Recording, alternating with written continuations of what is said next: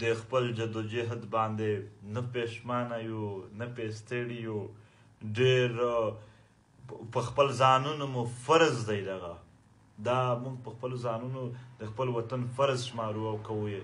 او ډېر په ښه انداز یې کوو بس خپلو ملګرو ته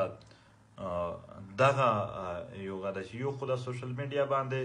دوی چې پروپاګاندا کوي دا ما پروموټ کوي تاسو یې خپل پس شیر کوي به یې ما پس شیر کوي د دوی چې څوک زمونږ په مخالفت چې هغه کوي بس پرېږدي یې الته تاسو الته دوی نه هیڅ شی نه وي تاسو د یو شی به جوړ کړئ الته او بیا دوی ډیر داسې د فیک آیډیز جوړې دي د په مختلفو نامونو باندې د وزیرو مسعودو یوسفزو او د باجوړو دغه غي خلاف ما خپل کار کوي به خي اګنور کوي د دوی غا نو خپل چې کوم مظلومیت ته هغه پر مخ وړي او خپل کردار او اخلاق به خامخا موږ تاسو پښتانه یو پښتانه د کردار خلک دی پښتانه د اخلاق خلک دی په پښتون معاشره کې کردار لوی شي وي نو خپل کردارونه او اخلاقیات په تر دې حده پرې ښه جوړوو چې ډېر داسې ځای چې هغې نام زه نه شم اخذه چې هغې ته لاړ شم چې ستا کردار دومره های وي چې خلک وایي چې دا د دغې غلطې سړې چا سړی نه دی دی غلطې چارې سړی نه دی سبق به وي چې په تا باندې هلته هم شک نه کېږي خپل ځانون د کردار مالکان او تنظیمي یې جوړ کړئ، جوړښت پیدا کړئ، یو بل سره کومه علاقه کښې پي ټي ایم ملګري دي هغه سره یوځای شئ، بیا نورو پښتنو ته دعوت ورکړئ، هغه راوغواړئ او بیا چې څه غلطي وي زه هر ځای ګرځم په فیسبوک نه ځکه چې په فیسبوک باندې به تا یو پوسټ کړی وي تنقید به دې کړی وي زما زه به انلاین نه وم درې ورځې بعد چې زه انلاین کېږم بیا به لاندو درې څلورو کسانو کنځلې هم سره پشي کړي او سره مروشوي به وي نو بیا به لس اته کسانو زړه مات شوی وي نو بیا به هیڅ پیدا نه کوي هلته کلیریفیکیشن تنقید بیخي ښه زیات به کوئ ښه ډېر به کوئ هم فورم باندې به کوئ فورم مطلب چې زه مخامخ هر علاقه چې زه ګرځم هر ځای چې زما موبایل هم آن وي میټینګونه کوو ورکشاپونه کوو هلته د راځي هغه ملګري چې مخالفت کوي هغه راغواړئ هغه ځای ته چې راشه ته هم راشه کوم کوېسچن لرې کوم غه لرې چې یو بل سره پوهه کړو یو بل سره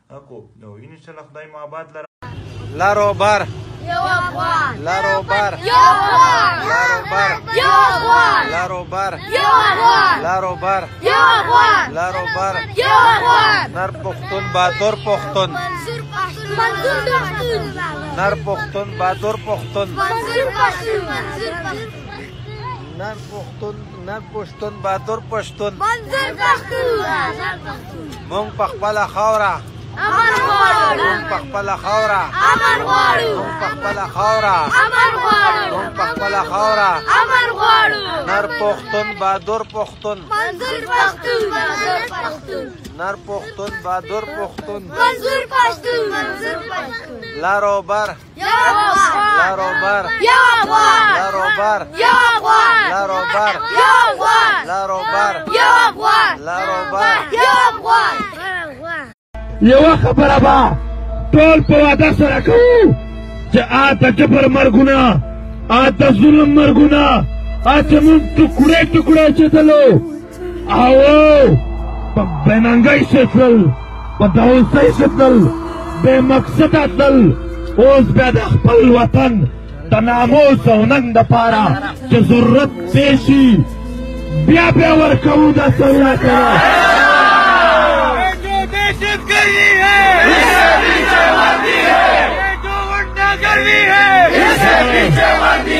دا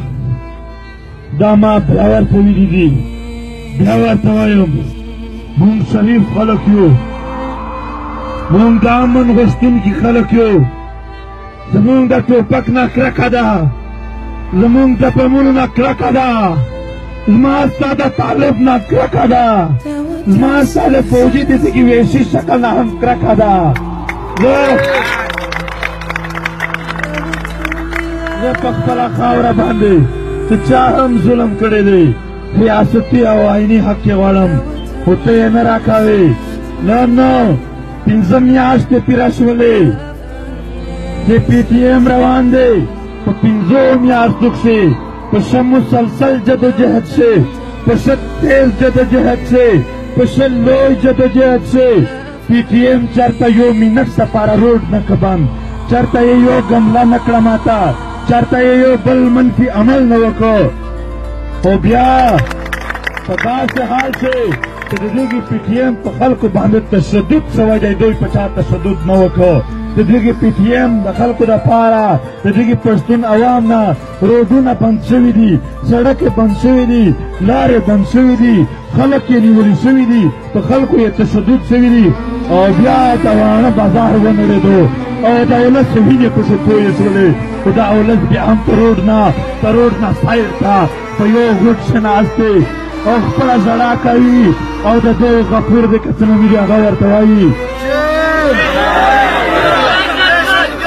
دی هېڅوک نه دي مړو او دومره دومره سپین سترګي کوي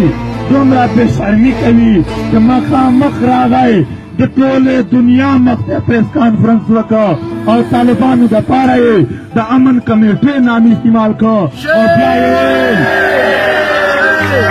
او بیا یې ویل چې دا د دوی قرباني دي دا د خلکو د وینې تویول دا د پښتون کام بربادول اے پښتنو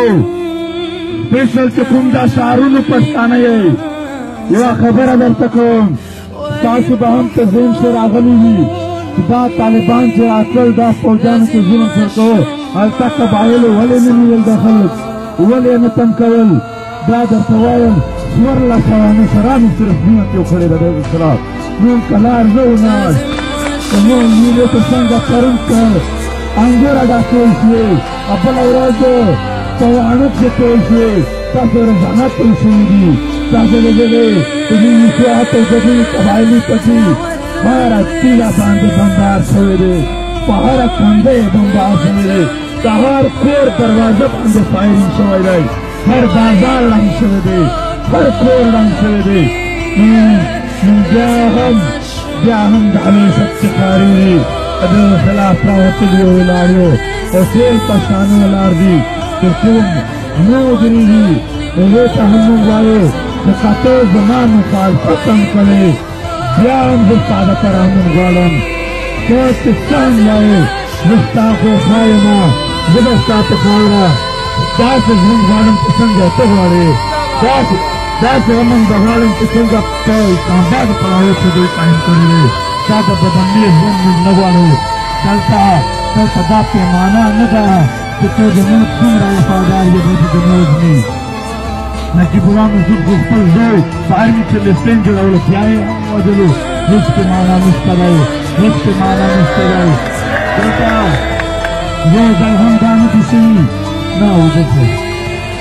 یو ځل هم دا نه دي شوي چې چېرته جټ بمبار کو ویلي وي چې څوک وفادار دي هغه لرې شي چې څوک نه دي ټول یې په یو ځای ویستلي دي دلته چې دماکا د صدقت د کړې را دا یې نه دي ویلي چې څوک درنګ خلک دي یا دغه پښتانه دي هغه د نه وي هغه لرې شي د نورو باندې کوم په پښتنو باندې مشترکه بوت شوی دی یرغل شوی دی په دې خاوره باندې دا په مشترکه جدوجهد باندې د خپلو ځانونو نه